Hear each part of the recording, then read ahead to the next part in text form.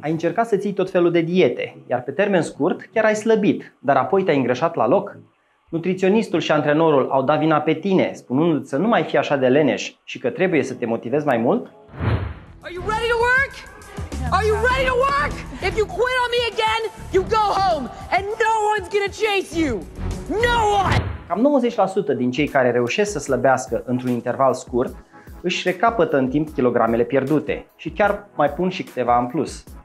Toate aceste încercări disperate și repetate de a slăbi susțin o industrie globală de miliarde de dolari pe seama suferinței și frustrărilor individuale. Printre cei care se chinuie să slăbească se află și mulți doctori sau nutriționiști, care își modifică în Photoshop pozele sau se fotografiază în poziții avantajoase ca să pară mai slabe atunci când le dau online sfaturi altora. La un moment dat, un amic îmi spunea că el are experiență în diete pentru că a reușit să slăbească de peste 15 ori. Oare lenea și lipsa de motivație este cauza sau alta să fie explicația? Sunt Cezar, cardiologul care te ajută să-ți iei sănătatea în propriile mâini, iar în acest video îți voi demonstra pas cu pas de ce dietele sunt o păcăleală și nu funcționează decât pe termen scurt, de ce nu poți și nici nu e nevoie să-ți calculezi caloriile, de ce nutriționiștii care dau sfaturi să mănânci mai des fac mai mult rău, de ce să renunți la cântarul de bucătărie și la toate aplicațiile care îți cer să completezi gramaje cu tot ce ai mâncat, consumându-ți timpul și nervii în zadar? Iar la final îți voi spune care este de fapt secretul pentru a slăbi și a rămâne sănătos pe termen lung. Majoritatea dietelor se bazează pe celebra ecuație a caloriilor, respectiv caloriile care intră trebuie să fie mai puține decât cele care ies, adică să mâncăm mai puțin și să arde mai mult. Logic, nu? Însă această teorie este greșită pentru că nu ține seama de variabilele acestei ecuații care se modifică fără voința noastră, așa cum îți voi demonstra în continuare. Spre exemplu, caloriile care intră sunt reprezentate de ceea ce avem în farfurie, minus ceea ce nu se absorbe din ceea ce avem în farfurie.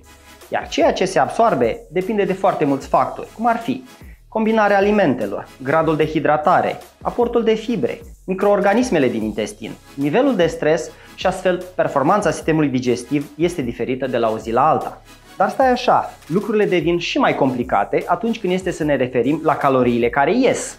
Consumul de energie totală este suma energiilor folosite pentru metabolismul bazal, activitatea cognitivă, digestie, reglarea temperaturii corpului, activitatea fizică obișnuită, activitatea fizică sportivă, refacerea de după activitatea fizică și, în final, energia pentru depunerea rezervelor de grăsime.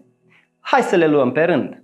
Metabolismul bazal reprezintă energia consumată pentru funcționarea organismului într-un mediu constant. Activitatea cerebrală fără prezența unor factori stresanți, menținerea temperaturii într-un ambient confortabil, activitatea inimii, a plămânilor, a rinichilor, în condiții de repaus, producția de enzime și hormoni în afara perioadelor digestive, mineralizarea oaselor și construcția mușchilor, etc. El se poate măsura sau estima aproximativ pentru a ne face o idee generală despre consumul energetic într-un anumit moment, dar este foarte variabil. Activitatea sistemului digestiv, stomac, ficat, pancreas, intestin, se calculează separat și se numește efectul termogenic al alimentelor. Cu cât mâncăm mai des și consumăm alimente mai greu digerabile, cu atât se consumă mai multă energie. De aceea, unele diete bazate pe aport crescut de proteine poate ajuta la slăbirea pe termen scurt. Activitatea cognitivă consumă multe calorii ce nu pot fi calculate. Suntem mai ageri la minte sau mai lenți? Avem chef să facem activități mai solicitante sau preferăm să ne relaxăm mintea, în funcție de nivelul energetic.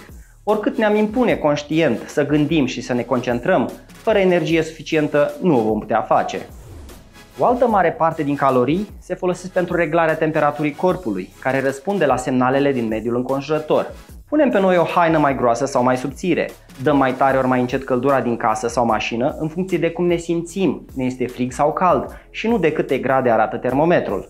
Iar când facem sport și ceasurile deștepte ne spun câte calorii am ars, aceste cifre nu reprezintă decât o estimare vagă a realității, deoarece nu iau în calcul decât frecvența cardiacă. Iar în realitate, consumul energetic este influențat de mulți alți factori, cum ar fi frecvența și volumul respirațiilor, proporția dintre tipurile de efort aerob-anaerob, gradul individual de toleranță la acidoza lactică, iar lista este nesfârșită. De asemenea, activitatea de zi cu zi implică un consum variabil de energie. Fie alegem liftul, fie urcăm scările, fie ținem rucsacul în mâna mai puternică, fie îl punem în spate, fie mergem mai repede, fie mergem mai lent. Ți-am dat toate aceste exemple ca să înțelegi că îți pierzi vremea calculând caloriile, pentru că acesta este un demers imposibil. Acum, hai să presupunem că te apuci de o dietă de slăbire și că începi să mănânci mai puține calorii decât erai obișnuit. La început slăbești și ești fericit, dar după un timp oarecare observi că nu mai ai rezultate și intri într-o fază de platou, chiar dacă respecti în continuare regimul. Ești încă motivat și reduci și mai mult aportul caloric sau faci și mai mult sport, dar rezultatele se obțin din ce în ce mai greu. La un moment dat ajungi la captul răbdărilor, revii la dieta anterioară, pui la loc toate kilogramele pierdute și încă alte câteva drept bonus. Ce s-a întâmplat de fapt? Ia gândește-te.